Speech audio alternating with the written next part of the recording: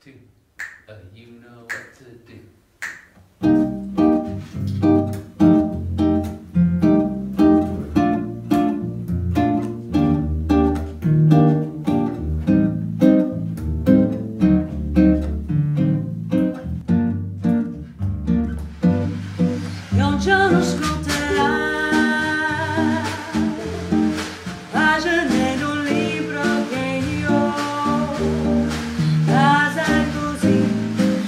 estará